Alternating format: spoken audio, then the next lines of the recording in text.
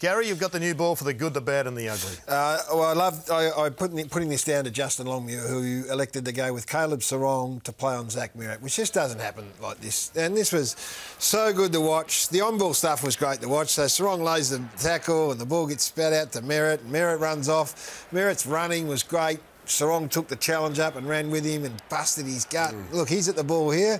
Ball gets flipped over. Merrett gets on the end of it. So it was just a great midfield. Yeah. Merrett had no. I got him down for no clearances, no marks for the game. It's great to watch. It was a good uh, storyline throughout the yeah. game, wasn't it, Gaz? Yeah, it they really both went hard at each other. I loved it. I hope and. I would imagine Caleb Serong's going to be an infinitely better player for yep. running around with Zach. From the same game, uh, don't get exposed to the young Fremantle players all that much, but Adam Cerra did a couple of things. So watch this left foot bullet here. It was too slick for Henry to even mm. grab onto. And then just a few seconds later, he, uh, he follows up on the other side of his body, so he's got a bit more time and space. Goes on the right foot there and just laces out Taberner on the lead. So just sublime skills. I didn't have a full appreciation for coming into the game, but walked away thinking, wow, this kid is a super player. Absolutely, yeah. It's good to see him back into the lineup.